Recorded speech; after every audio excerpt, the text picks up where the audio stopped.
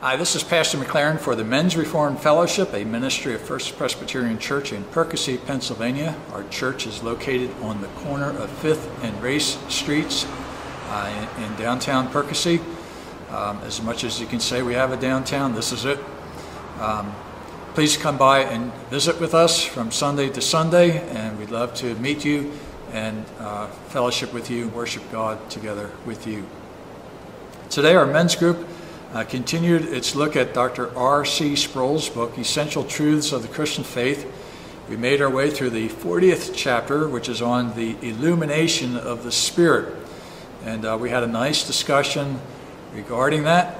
Um, you'll recall that we are making our way through a section of this book that focuses on the person and work of the Holy Spirit. Uh, we've seen how the scriptures describe the Holy Spirit as the third member of the Blessed Trinity, uh, equal in power and glory with the Father and the Son. Uh, the Spirit is a personal uh, being, uh, third, the third person of the Trinity, and so he's not a force, but he is present to instruct, to teach, to guide, and even to convict, as we saw uh, last Sunday at First Church in our sermon series.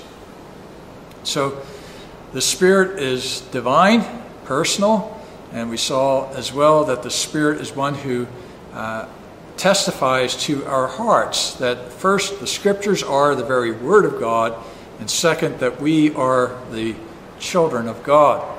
Uh, this internal testimony of the Holy Spirit is unique to the people of God. Uh, the rest of the world does not receive that testimony but the Spirit comes within the hearts of those who have been given to Him. The Father chooses a people, gives them to the Son. The Son accomplishes their redemption at the cross and then gives the application of that redemption to the Holy Spirit.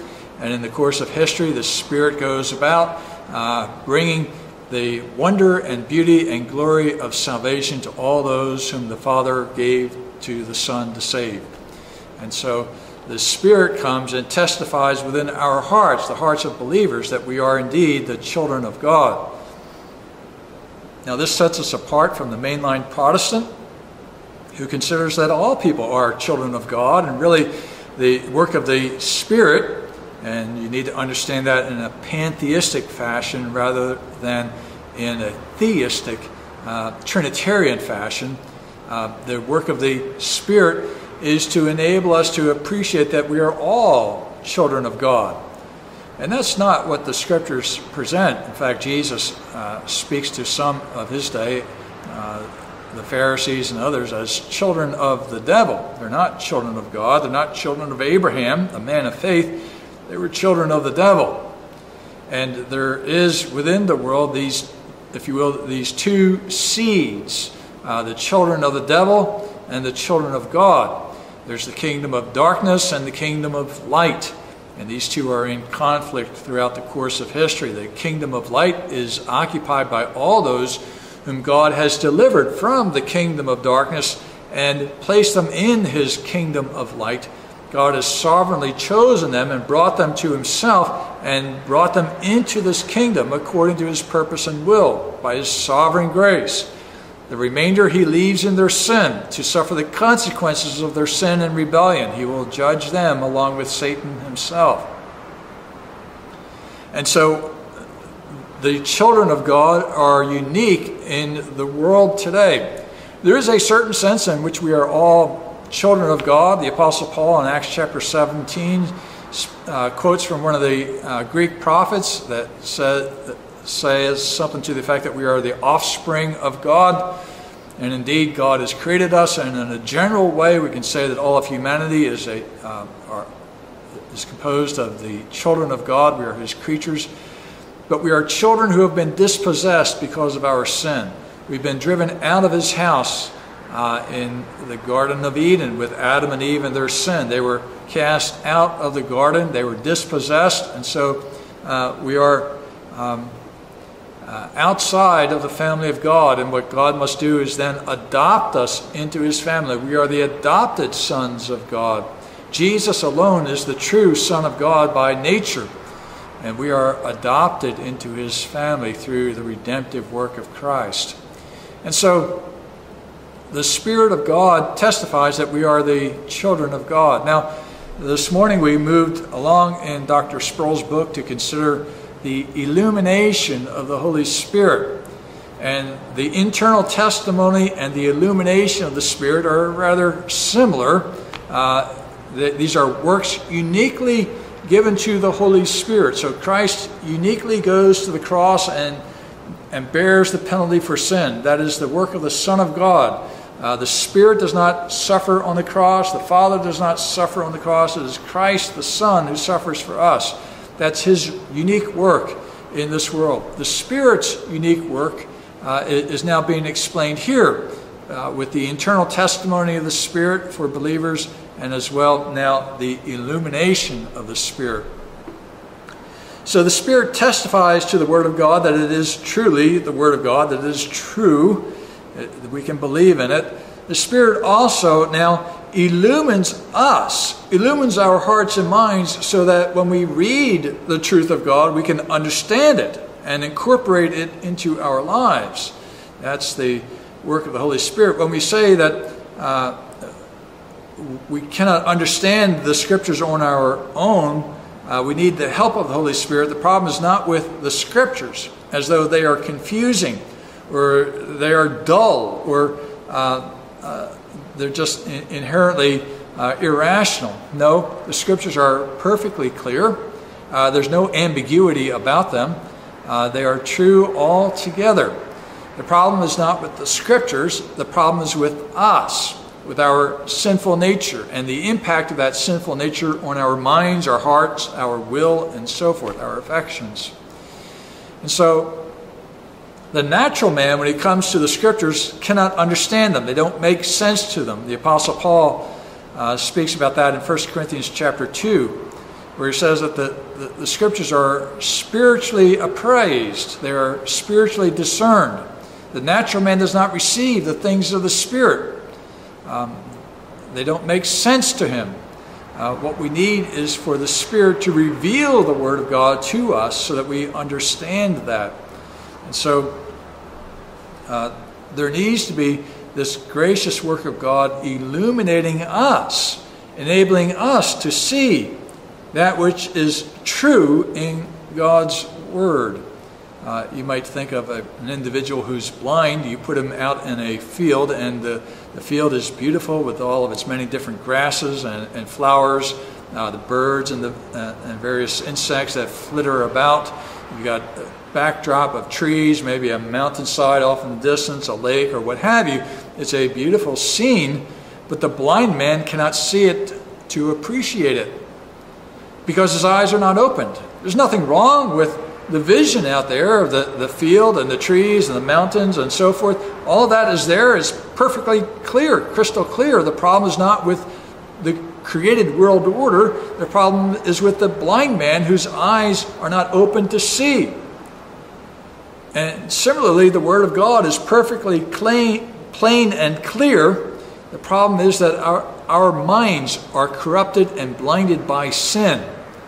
And so part of our regeneration, uh, part of our inner renewal by the Holy Spirit, the new birth, is that we are enabled then to see the kingdom of God. You can see that in John chapter 3, where Jesus speaks with Nicodemus. You must be born again to see the kingdom of God. Um, you know, Jesus in his Sermon on the Mount spoke about uh, the uh, darkness of the human heart where it's being illuminated. He, he speaks of the individual whose eye is clear, then his body is filled with light. But if his eye is darkened, then the body is darkened, and he says, How great is that darkness? And he's not here merely talking about uh, physical vision and the significance of vision for our lives. Our lives are brightened, I think, and uh, enriched by our ability to see color, shapes, sizes, all these kinds of things by what we see. Uh, whereas if we are blinded to these things, we are not only deprived of the beauty of the world around us or even its complexity and sometimes it's uh, ugly filth too. But uh, we're deprived of that, and then that works within us uh, maybe a sense of depression and despair and a hopelessness that we can't see these things that other people see.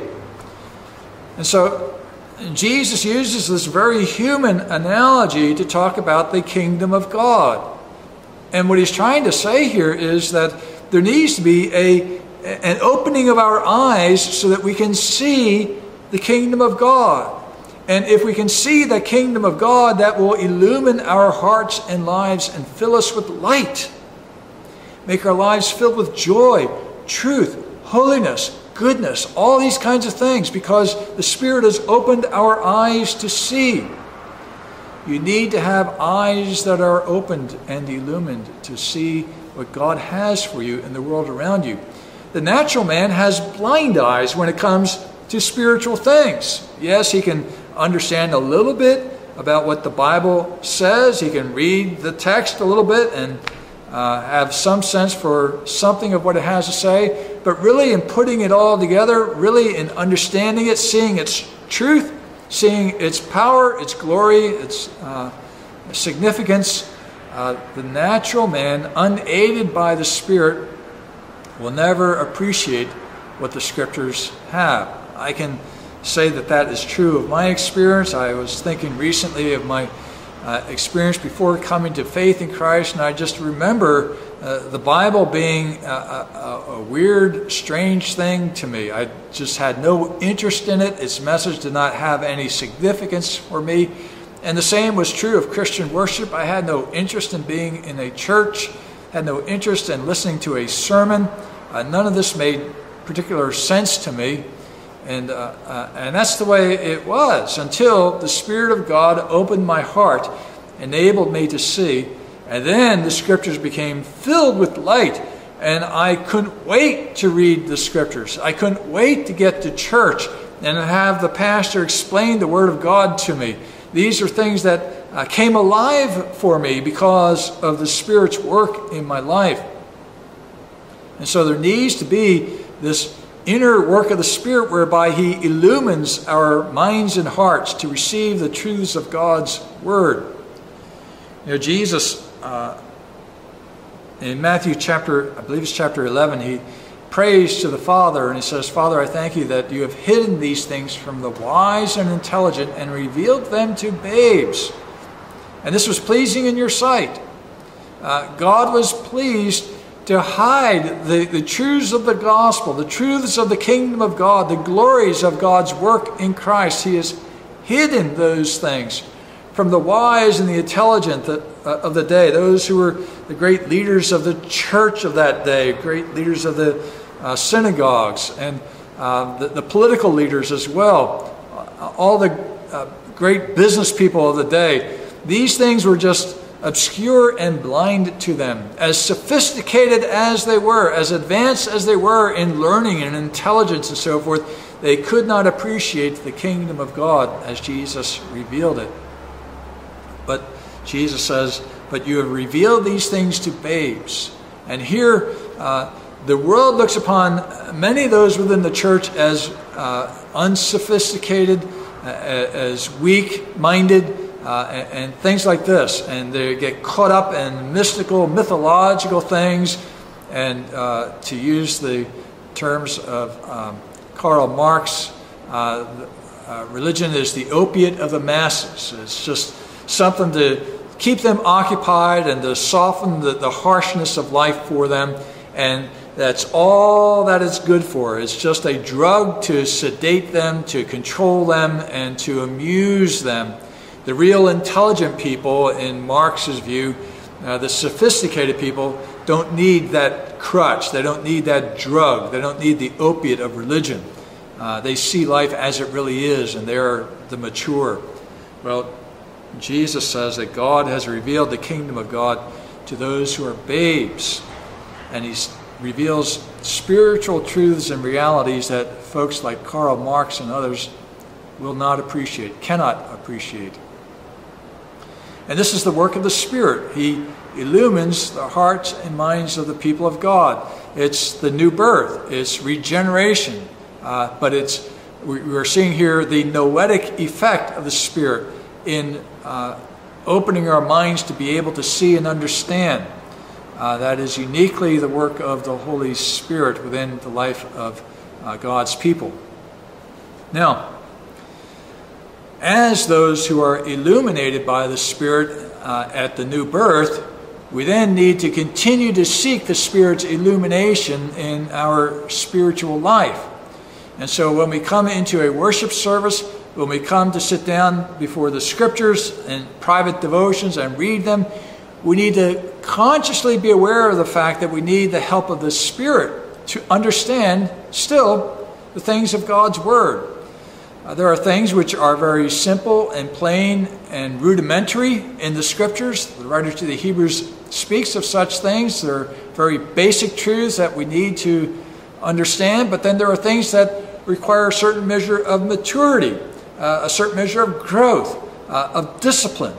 And so we need to have our minds uh, fed not only on the milk of the Word of God, but also on the meat of the Word, so that we can grow strong in Christ and become men in the Scriptures. Men who are strong in the Word of God and ready to serve Christ uh, to His glory and praise. And so this is the work of the Holy Spirit for the church to illumine our minds as we grow in our spiritual lives. And so in uh, Psalm 119, which is a psalm which reflects in a poetic way on the law of God, on God's word, on his statutes, his revelation of himself, which ultimately climaxes in the coming of Jesus Christ. Uh, the, the psalmist there prays in the 18th verse that God would open his eyes that he might see wonderful things from God's law. And so when in the Old Covenant the believer looks at the law of God, it does not just present itself as a bunch of moral absolutes which must govern our lives, but he sees the wonderful things of God's law and how they anticipate the Christ who was to come to bring us redemption. And so the, the mind illumined by the Spirit enables us to see Jesus in the Scriptures. You remember Jesus when he met with his disciples following his resurrection, he gathered them together and he opened their minds to understand the Scriptures. And he showed to them from the scriptures how the Christ must suffer and die and rise again on the third day according to the scriptures, and that uh, the forgiveness of sins and everlasting life might be proclaimed in his name. Jesus had to open their minds to understand the true import of the scriptures.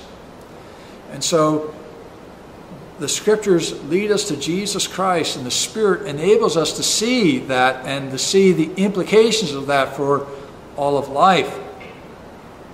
And so, this is the great uh, blessing that we have in the Spirit's work as believers. If we struggle with the Word of God, we should pray that God would open His Word to us and enable us to properly understand the Word of God. There are many people who go to the Scriptures in a presumptuous fashion and assume that all they need to do is read a text here, a verse here, a verse there, and think that they understand it. And, and they don't. I've seen many who uh, distort and twist the scriptures. Even those who can quote a lot of scriptures, they take them out of context and don't understand them in the whole broad sweep of the scriptures and their message. And so uh, they distort the message of scripture in different places in different ways. Um, you know, as a believer, as a Christian, when we come to the scriptures, we, we should train ourselves to think. Uh, and meditate on what Scripture has to say. And there are certain uh, basic rules to reading any text which would apply to Scripture as well. We should always look at a particular text in the light of its broader context. That broader context enables us to understand what it is exactly and precisely that the text is trying to say. Now, I'll use an illustration which is from the realm of politics, recent politics. Uh, I'm not going to affirm the truthfulness one way or another. Just use the illustration for you and we'll work from there. Uh, it's uh, said that uh, President Trump, on his visit to England here on the 75th anniversary of uh, D Day, was informed that uh, Meghan Markle, the princess there in England, Uh, had some nasty things to say about President Trump. And he said, I didn't realize she, she was such a nasty person. Now, Trump in a later interview tried to clarify by saying, I didn't mean to say that she was a nasty person all the way around. It's just that the things that she said right here were nasty things about me. Otherwise, she's a very wonderful person. Now, I'm not going to hear, you know, judge that what took place there. Just simply note that we should take the president's statement here in a broader context and understand it uh, in the way that was intended and not merely uh, take something out of the context and make it look like he has this uh, very mean and unfair portrait of other people. Uh, that's true of our study of Scripture. When we come to a text of Scripture, we have to understand it in its broader context, within the context of the, the few sentences before, the few sentences after, the paragraphs that lead up to it, the whole book, the author that was writing this book, the time period in which it was written, uh, how that whole text relates to other books by the same author, how it relates to uh, other uh, texts in the New Testament or in the Old Testament. You know, just the whole flow of redemptive revelation needs to be taken into consideration when we come to one particular verse of Scripture. And I find that time and time again, people don't do that. I remember some time ago now, we had a discussion in our Sunday school class uh, on Philippians chapter 4, verse, I believe it's verse 13, I can do all things through him who strengthens me. And the Old King James Version says, I can do all things through Christ who strengthens me. And there were some within the Sunday school class that were upset with the modern translations that said, I can do all things through him who strengthens me, because they felt that that was taken away from Christ. Well, if you look at the context, it's very clear what Paul was saying. He was saying it's Christ. Christ is the one in whom we are strengthened to do all things. There's nobody else that can do something like that.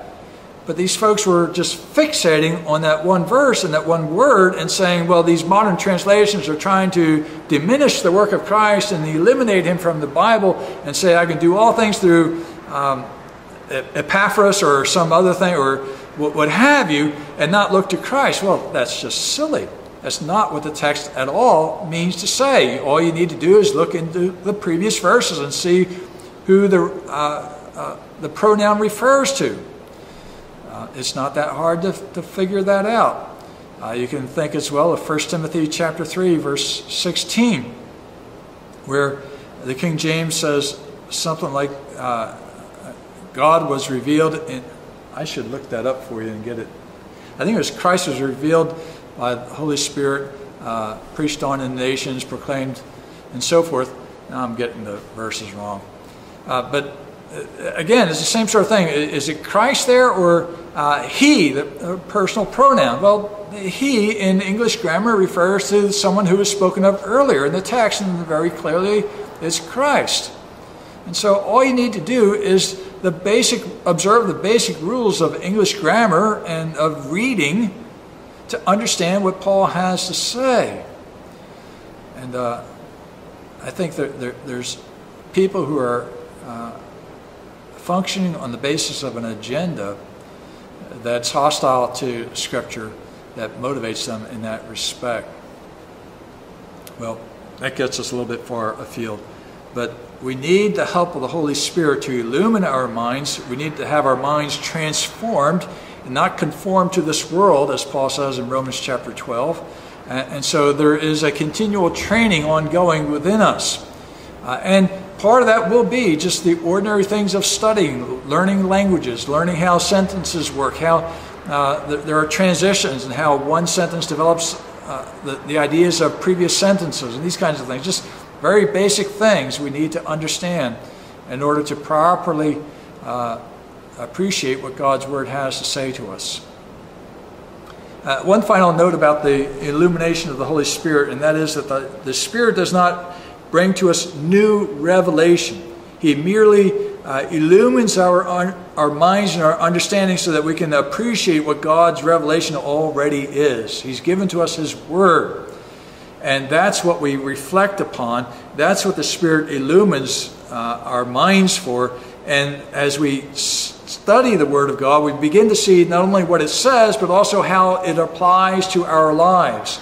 And we begin to hide that Word in our hearts to protect ourselves against sin and its many different influences. So the Spirit does not bring new revelation. Now, this uh, goes against uh, several developments in, in uh, broader Christianity. You have the Pentecostal charismatic movement, which speaks of the, the baptism of the Spirit with speaking in tongues and new revelations that come by this speaking in tongues, having an interpreter perhaps say what the Spirit is speaking to the church. And then you have some who prophesy within the church, Thus says the Lord, you shall prosper, you shall do this or that. And the Spirit does not give new revelations. He directs our attention to the Scriptures. And we should go to the Scriptures to find our what the will of God is for us in life. The Spirit does not speak to the church anymore in tongues. That was appropriate to the church in its infancy. As the church was just a baby, if you will, then it was appropriate that we babbled and spoke in different tongues. The Spirit enabled us in that way, much as a, a young child entering into the home babbles different things and he, he kind of thinks he knows he, what he's saying, but it's just babbling. Well, Christian Pentecostals are just kind of recapturing that infantile experience in babbling. There's no significance there. Quite often, this experience of tongues that they have does not result in information, it's just an experience that they have. It's infantile. When you look at what Paul says about tongues in 1 Corinthians 14, you see that he values coherence. He values understanding. And so if somebody should speak in tongues, there should be interpreter. If there's not an interpreter, then the, the one who speaks in tongues should be silent. That's in the first century church. And so the emphasis was on uh, a coherent explanation of God's will for us. That's why Paul valued prophecy over tongues. Prophecy was the exposition of the Word of God, the proclamation of the Word of God in a coherent fashion so that people could understand what was being said. Tongues was incoherent. There's no rhyme or reason to it that the, the people in the congregation could make sense of. Not even the speaker could understand what was being said. The gift of tongues and prophecies, uh, as well as miracles, were given to the church in its infancy until the scriptures were given to the church, written down, and uh, received as canonical by the church. And then those uh, earlier ways of God's revealing himself to his church, scattered abroad, abroad without written scriptures, those earlier ways have been done away with, much as the Old Covenant uh, temple and rituals have fallen away with the coming of Christ. So uh, tongues and prophecies and these kinds of things have fallen away for disuse because we have something much, much greater the Word of God written for us so that we can know the will of God. And the Spirit illumines our minds to understand the Scriptures. And then we apply those Scriptures to life. That's where maturity comes in for the Christian believer. And so the Pentecostal movement, the charismatic movement, uh, says that the Spirit comes and brings new revelation to the church. Well, if that's really true, then you better start writing that down and including it in the canon of Scripture because it's the Word of God. Uh, it, it's, and I don't hear anybody recording that stuff and putting it in a book and canonizing it or saying it should be included as equal authority with Scripture. But if the Spirit speaks a word from God of that nature, you really need to be doing that. But beyond that, you have uh, the mainline Protestant church that similarly sees new revelation coming by the Spirit. Now, they don't follow the Pentecostal mindset, but their idea is that the church is continually growing and maturing and listening for God. I've spoken this from time to time about how if you enter a mainline Protestant church, you might have the pastor at the front, man or woman, saying, Listen for the Word of God. Not listen to the Word of God, but listen for it. As though there is some sort of existential experience that this that, that, that you have in which the Spirit speaks to you in that moment. And it may not be from the scriptures themselves, it may be beyond that, it likely will be beyond that. And that is God's revelation to you today. And so, in this modern age, uh, where we see progressive revelation within the church in the mainline Protestant point of view, we move on from what Paul had to say about women serving as elders and pastors in the church or denying their place in that regard. We say that's something for that older period of time, but we have matured and the Spirit has shown us more. And so we move on to new things. And in the past, there were prescriptions against homosexuality in the church, but we have matured, and the Spirit now is telling us that we ought to be receiving everyone in love and accepting their behaviors. And so, what the mainline Protestant church has done is separate us from the message of scriptures given for us once for all in the pages of Scripture and replace that with a revelation of the Spirit that sifts and changes over time to suit circumstances and, and develops like that. This also is a new revelation, if you will, from God. And uh, that's also to be opposed. The Spirit merely illumines what the original text of Scripture says, enables us to see and how see how it applies to our world today. That is what we should be looking for today, and not new revelations. Um, the same goes with the Roman Catholic Church and their view of the, the Pope and various uh, church councils and things what the church has decided upon, the assumption of Mary into heaven, and these kinds of things uh, as revelations from God about this is true. Um, God does not bring us new revelation. He's given it to us in His Word. And now the church is built on the foundation of the apostles and prophets, the first generation that God has given as a revelatory organ for the church to give the deposit of Scripture. And now we build on that Scripture as we seek to understand what it has to say.